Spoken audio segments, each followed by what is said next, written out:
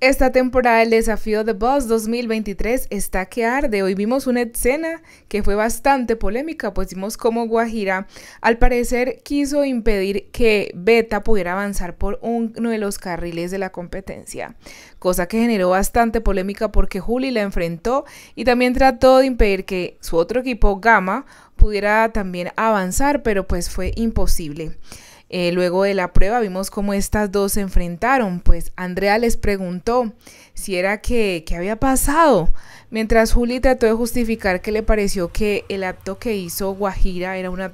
Juli dijo que no le pareció para nada correcto lo que hizo Guajira, le sacó en cara también que ella dice que siempre pues hace las cosas de corazón, que es una buena persona, mientras que Guajira por otro lado le dijo que ella era la persona que creía que era la más tramposa, que Juli realmente pues no la veía como una buena persona.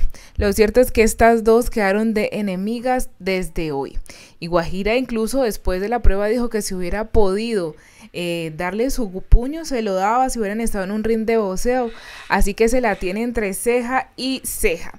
Pero pues delante de otros equipos como Alfa, por ejemplo, que están por fuera de este pleito, dijeron que no les pareció para nada lo que hizo Guajira.